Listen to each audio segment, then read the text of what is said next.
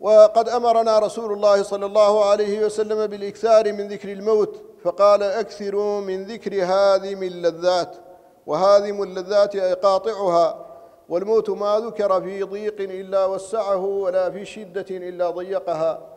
فالإنسان إذا تذكر العرض على الله يومئذ تعرضون لا تخفى منكم خافية. وتذكر الوقوف بين يديه ولو ترى إذ وقفوا على ربهم قال أليس هذا بالحق؟ قالوا بلى وربنا.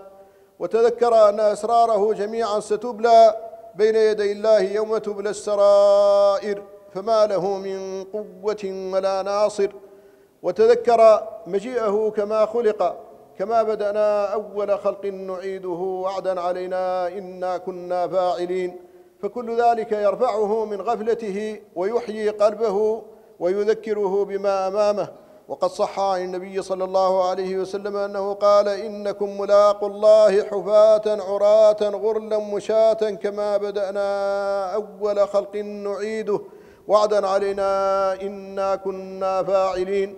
وقرأ هذه الآية وتركتم ما خولناكم وراء ظهوركم وما نرى معكم شفعاءكم الذين زعمتم أنهم فيكم شركاء. لقد تقطع بينكم وضل عنكم ما كنتم تزعمون.